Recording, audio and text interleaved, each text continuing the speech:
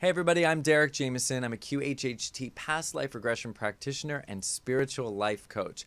Watch and listen to me on the next episode of Ready, Set, Live, where we talk about past lives, quantum healing, Akashic records, and so much more. I'm so excited about this episode, so I'll see you then.